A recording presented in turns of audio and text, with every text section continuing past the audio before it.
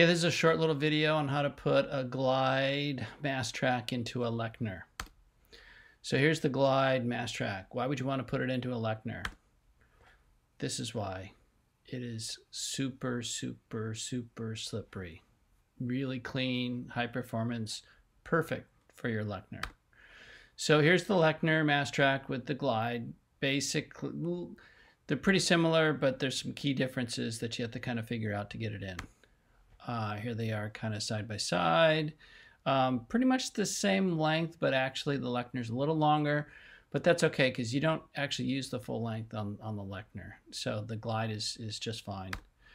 Um, my Lechner uh, mast track actually has corrector weights on it because the Olympian that uh, raced it, uh, Teddy Wong, uh, was too light. So he needed to put some uh, corrector weights on uh, for the Olympic trials. Uh, the first difference is when you look at the bottom, now the glide looks a lot shorter, but that's just because the pedal is a lot bigger. So it's not really uh, shorter. Um, but you notice that there's different holes. Uh, the glide has center line holes and the Lechner has offset holes on the uh, on the sides. So have to take that into account. So the way I took it into account is I just grabbed a piece of wood and then I uh, marked up the wood with little dots of Sharpie through little holes and then I drilled the holes uh, in the piece of wood and then I laid the piece of wood onto the glide mast track and then marked off where the holes are. That's just how I got the holes in the right place for the Glide mast track and then uh, I cut the uh, holes into the uh, Glide track. Yes, those are lasers. It's so much fun to use lasers, right?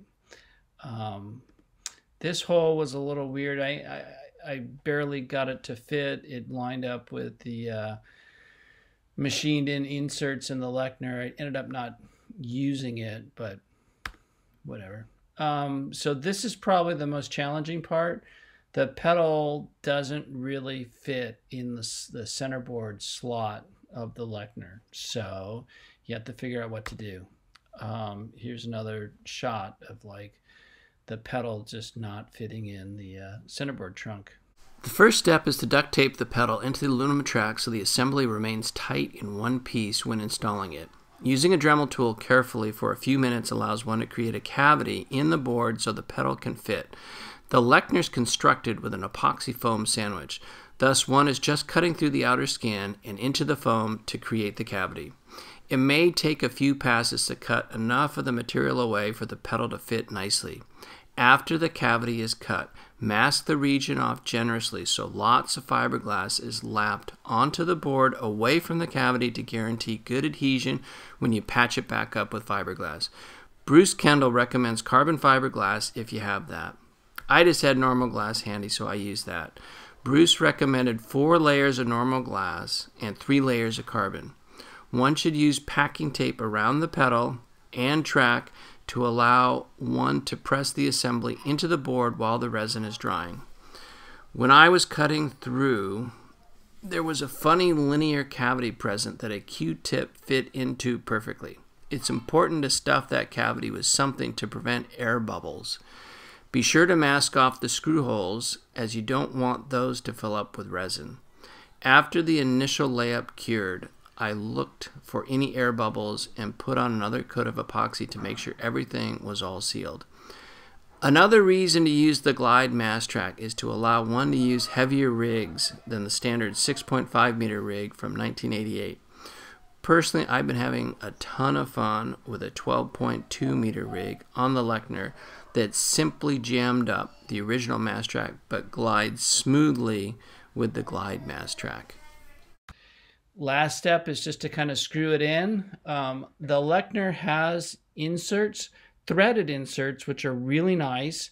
Uh, and if you line up your holes, you can screw right into those uh, inserts. There were a couple holes that didn't really work out, and so I did use some of the centerline holes. Um, Glide will send you wood screws.